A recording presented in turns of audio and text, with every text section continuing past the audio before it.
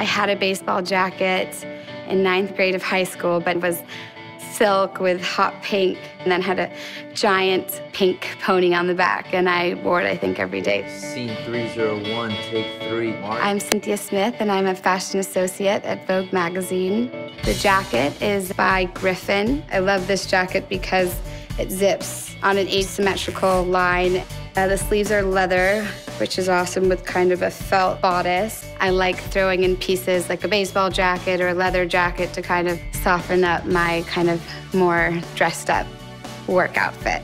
It's a kind of a transitional piece between a coat and then a jacket that you can wear until it gets extremely hot in New York. It makes me nostalgic for movies like Grease or Dazed and Confused, where you see all the baseball jackets and the Letterman jackets. It's just a great find.